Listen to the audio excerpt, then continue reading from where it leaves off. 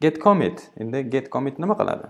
Demak get commit bu navbatdagi turgan fayllarni olib xotiraga qo'shiladi. Ya'ni faqat get add bilan uni getni xotirasiga olib bo'lmas ekan. Demak get commit orqali biz uni xotirasiga butkul joylar ekanmiz. Endi xotiraga joylaganda nima deb joylaymiz? Fayl bir fayl ikki? Yo'q. Unga maxsus atribut ya'ni yuqorida aytgan flag. Demak m deganimiz bu yerda message degani.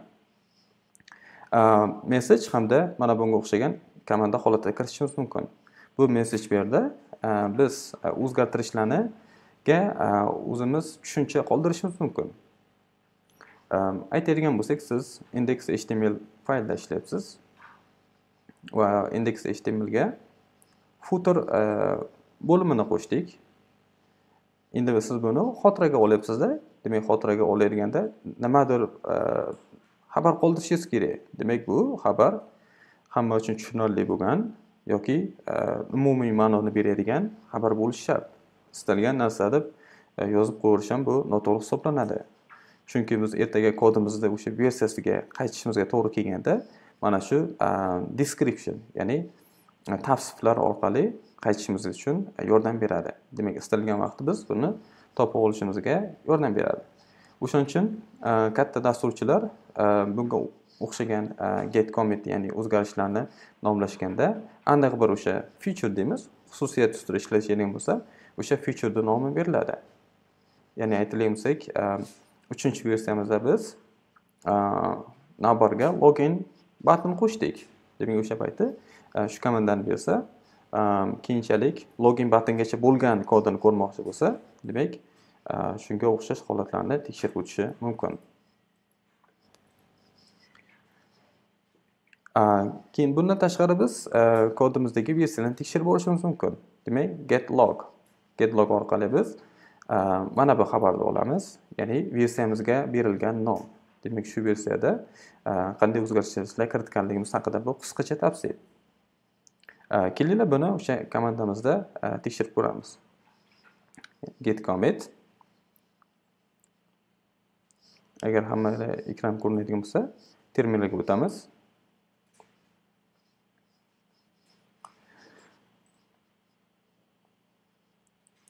Xo'sh yuqorida get status orqali mana bunga o'xshagan yashil rangga o'tdi faylimiz. Ya'ni bu navbatda turibdi.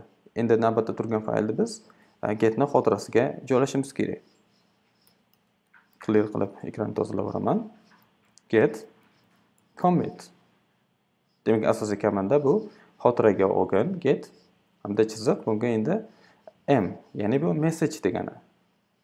Agar esingda bo'lsa buni flag deb ataylik qo'shimcha atributlar message bo'ladigan bo'lsa endi biron bir ma'no anglatadigan nom berishimiz mumkin.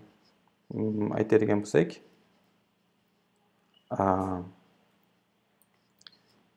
yangi index html fayl qo'shildi.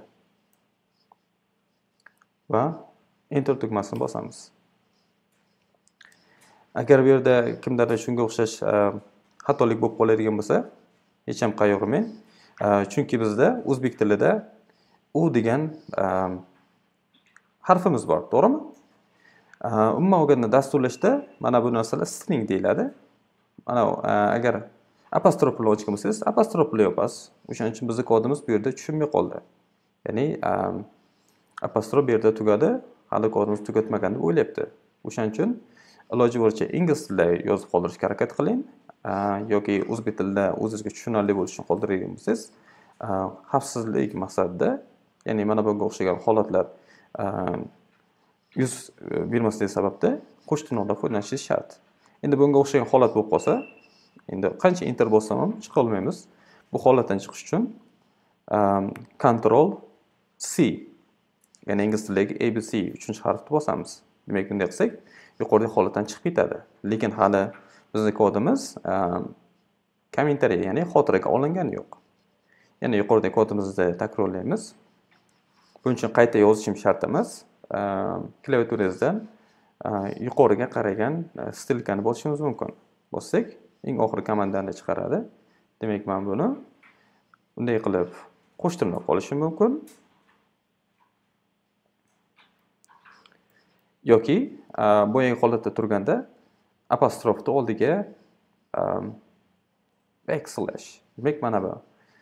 Mana bunga o'xshagan maxsus belgidan foydalanishimiz mumkin. Demak bu dasturlashda character escaping ya'ni belgini maxsus belgi sifatida Ehm, qabul qilmaslik.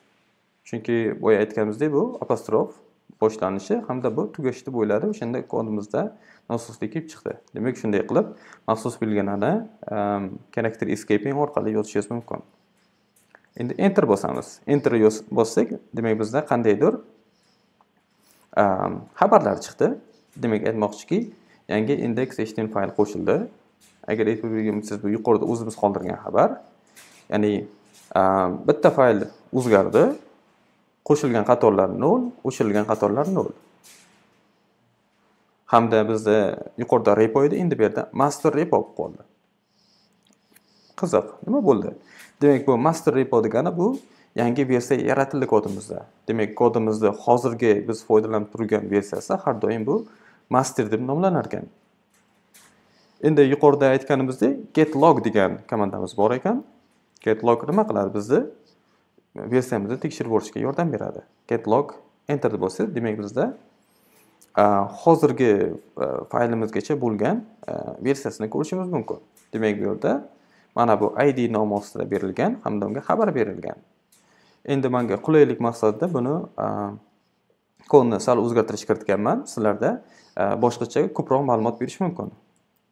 Agar pretini bersangiz bu ko'rkamlashtirish degani kodimizda o'sha chiroyli formatga keltiradi. Prettyni bossak demak to'liqroq informatsiya beryapti. Ya'ni komment kommentni o'zi bu yerda versiya. Demak kodimizda versiyasini o'zini idsi bor ekan. Biz id orqali biz e, o'sha istalgan payti o'sha kodimizni versiyasiga qaytishimiz uchun kerak bo'ladigan asosiy e, nima deydi unik e, yagona bo'lgan raqam va harflardan iborat bo'lgan id hisoblanadi. Identifikatsiya. Va bundan tashqari osir. Demak e, muallif kim? Muallif va yuqorida ko'rsatganimizdek user nuqta namega bergan ismingiz maniki alisher yetti yetti sakkiz edi hamda u bilan bog'liq bo'lgan email adresingiz demak bundan so'ng e, kimda kim kodingizni o'qiydigan bo'lsa e, kodga qachon o'zgartirish kiritilgan hamda kim o'zgartirish kiritilganligini bilib tekshirib borishlari mumkin. Demak o'shaning uchun bizga yuqorida kiritgan user nuqta name hamda user nuqta email biz uchun nihoyatda muhim hisoblanadi. Va bundan tashqari bu head hamda master degani ya'ni bu hozirgi ishlaydigan versiyamizni nomi. Xo'sh agar hammaga get commit tushunarli bo'lsa yana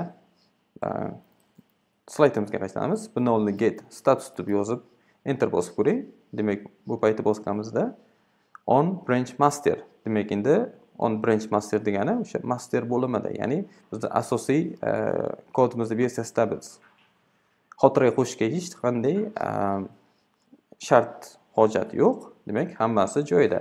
Ya'ni bizda ishlaydigan versiyamiz hozircha hammasi joyida degan e, xabar bermoqda.